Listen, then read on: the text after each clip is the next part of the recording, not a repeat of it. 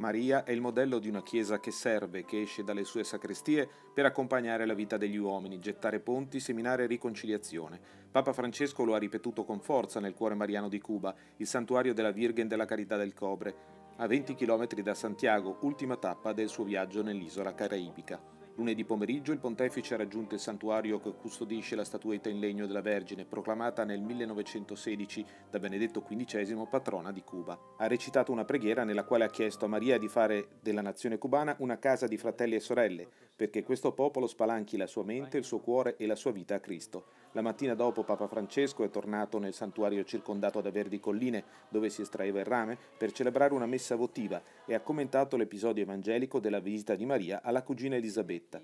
Visitata dal Signore nell'Annunciazione, esce a visitare, a servire, perché la gioia di sapere che Dio è con noi ci tira fuori, ci porta a condividere la gioia ricevuta come un servizio. Questo, ha spiegato il pontefice, è vivere la rivoluzione della tenerezza come Maria.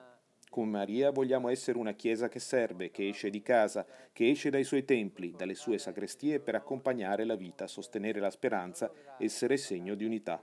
Una Chiesa che esca per gettare ponti, ha concluso Papa Francesco, abbattere muri, seminare riconciliazione, che sappia accompagnare tutte le situazioni imbarazzanti della nostra gente, senza nasconderci ma camminando con i fratelli.